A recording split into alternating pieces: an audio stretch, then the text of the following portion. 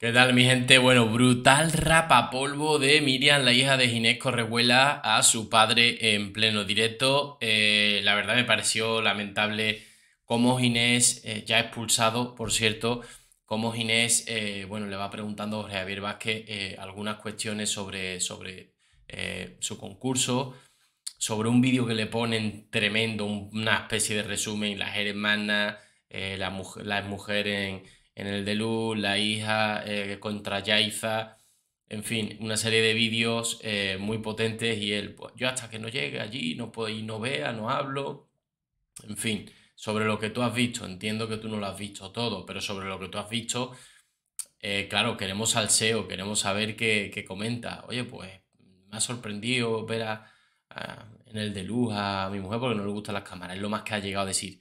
Pero oye, tus hermanas allí también en un programa, ¿Cuánto les habrán pagado, también os digo, cuánto les habrán pagado toda la familia para que al final hayan convencido a dos hermanas allí, a la mujer haciendo un polígrafo? Eh, bueno, a la hija a lo mejor sí, sí, sí, por ser así más, más jovencita, que se, ve que, las cámaras no la asustan, que un mucha para adelante, pues bueno, no te digo que no. Pero para haber convencido a todo el mundo de la familia de, de, de Ginés para que esté allí, ¿no? Bueno, al final el papelón que ha tenido la hija me da mucha lástima, por fin acaba todo esto para ella. Es verdad que estaba dando mucho salseo contra Yaisa. Me imagino que seguirá yendo, aunque esté Ginés. Sí que es verdad que me imagino que seguirá yendo porque no creo que la quiten. Pero el papelón que ha tenido que aguantar esta, esta chica es bestial.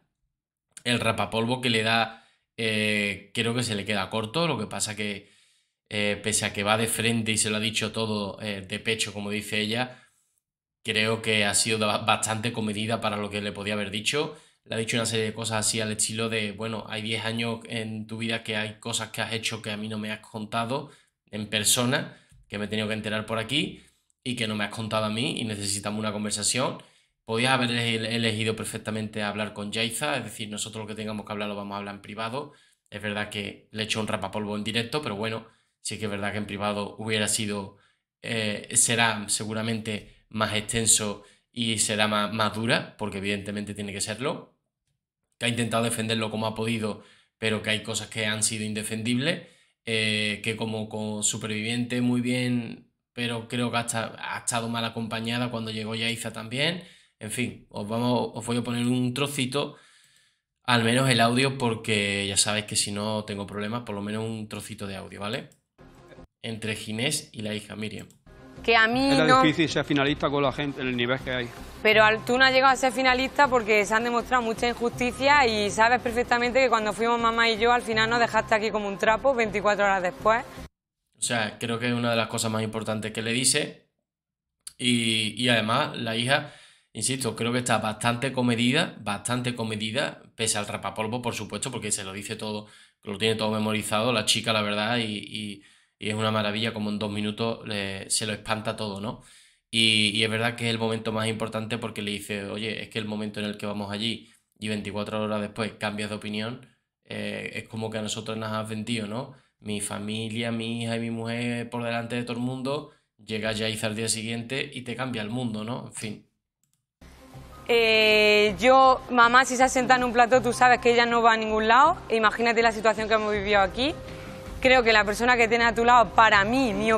Bueno, con respecto al de luz, eh, yo me imagino que, aunque no lo justifica, nada justifica que tú vayas a un de luz a venderte y tal, porque al final es lo que ha hecho la mujer eh, y ella, por supuesto.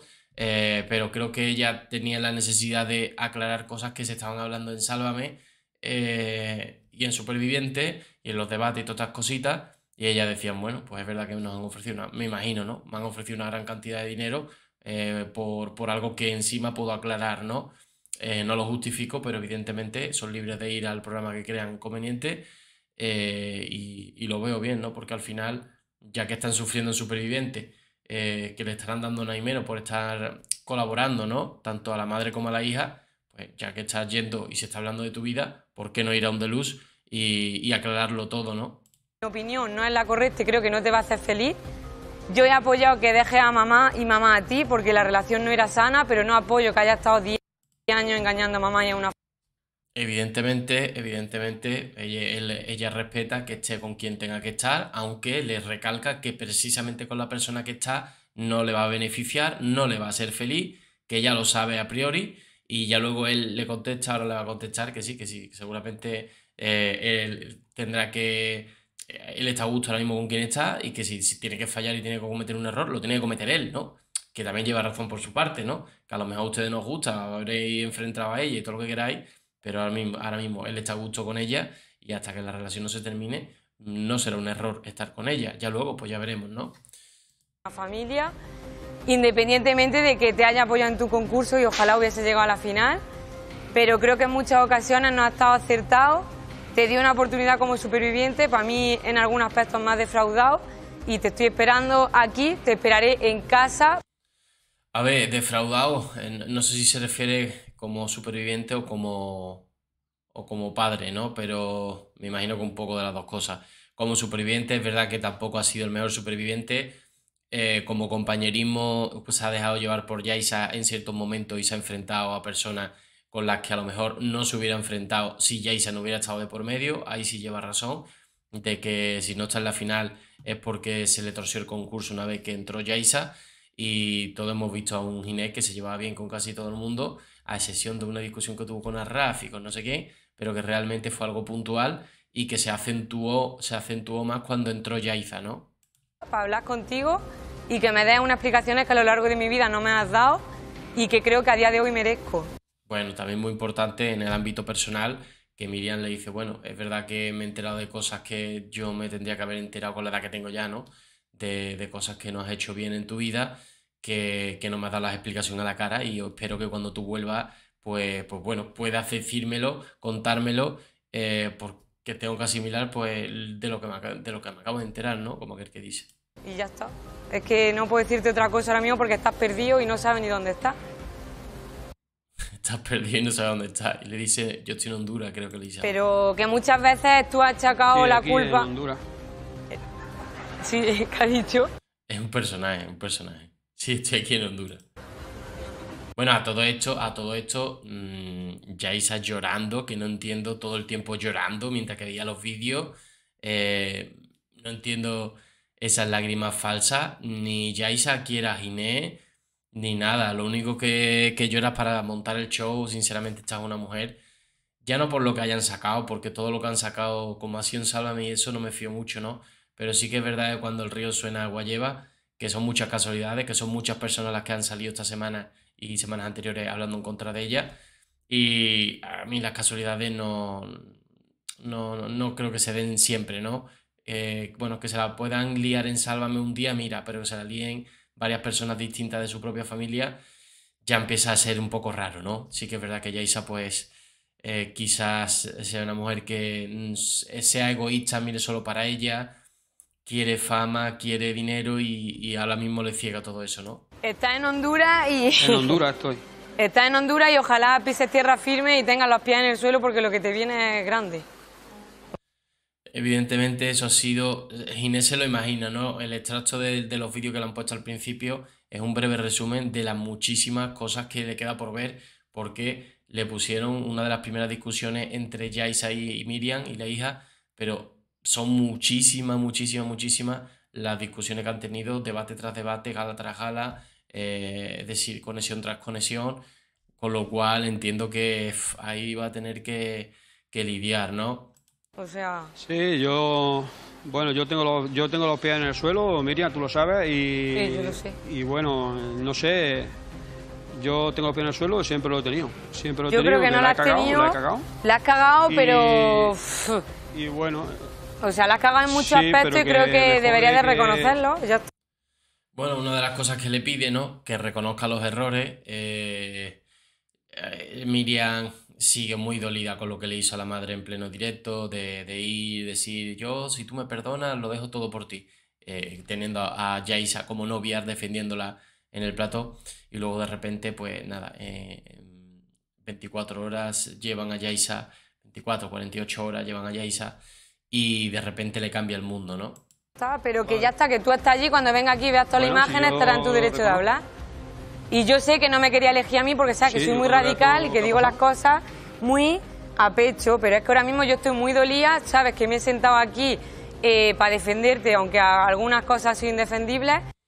Totalmente, ha habido cosas que, que cómo defiendes tú, cómo defiendes tú a Ginés, que un día va ella con su madre y al día siguiente o a los dos, dos o tres días elige a Yaisa, que era lo que había dicho antes, ¿no? Es que cómo defiendes tú eso, es que es casi imposible, meramente imposible, ¿no?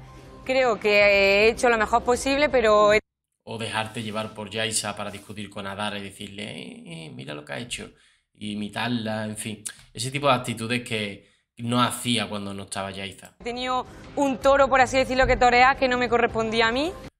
Exacto, se ha tenido que enfrentar a, a su novia Yaisa eh, para defender a su padre cuando realmente no le correspondía a ella, ¿no? No le correspondía a ella, eh, pues como bien dice ella, torear ese toro, ¿no? Y ha sido muy mal para la familia y a mí personalmente me ha afectado mucho y a tu entorno íntimo también.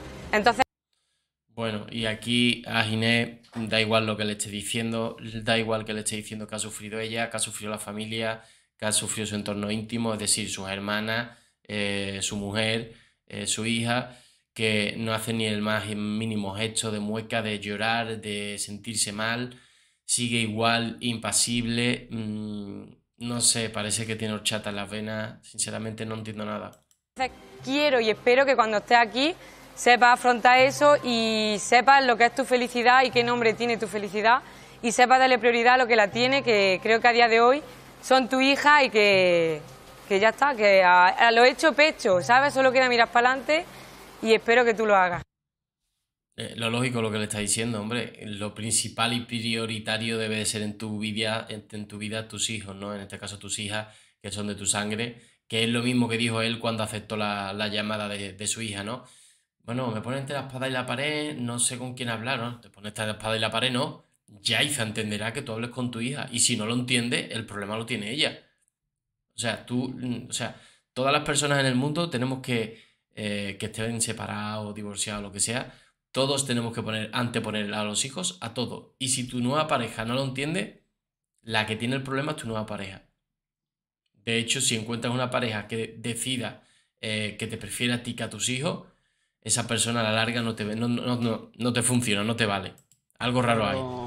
Pero sí, no, si mi felicidad son mi hija, llevan bien con ellas, pero vosotras también tenéis que respetar mi felicidad y yo voy a tomar el camino que, tengo, que, que quiero Sí, tomar papá, y si me que- equivoco, me equivoco. Que Mira Yaiza qué contenta se pone, qué contenta se pone Yaiza. Sonríe cuando dice que va a elegir su felicidad, como diciendo que yo voy a estar con Yaiza y no me, no me digáis con quién tengo que estar. Y la hija insiste, que sí, que sí, que muy bien, si yo no te estoy diciendo que yo no sé, que tú no seas feliz. Mamá es feliz, yo soy feliz con mi, con mi chica, pero eh, eh, conocemos, conociendo lo que conocemos ya de ella, no te va a hacer feliz, como diciéndote, te va a dar una patada nada más que acabe superviviente, ¿vale? yo apoyo que estés con quien quieras, pero Pasa que no se lo va a decir abiertamente, pero es lo que está pensando, que nada más que acabe superviviente te va a dar la patada. que ella no es tu felicidad y lo va a ver cuando venga y si quieres estar con Bueno, ella es tu pero- libertad, igual que yo estoy Bueno, con no Sandy y para mí me Tengo hace que ir, feliz. perdonad. Bueno, sí. Eso para mí no lo es tu felicidad, pero la decides tú, nadie más. Totalmente, al final es algo que tiene que decidir él. Él dice que bueno, que si tiene que cometer el error lo cometerá. Y nada, mi gente. Aquí teníais las imágenes, lo que pasa es que ya sabéis que no os la puedo poner, espero no tener problemas así. Bueno, mi gente, la verdad que esto ha sido más o menos el resumen de, de bueno, de, de esa conversación entre la hija de Ginés, Miriam y, y el propio Ginés. Un Ginés muy desubicado, un Ginés que no sabes eh, lo que quiere realmente.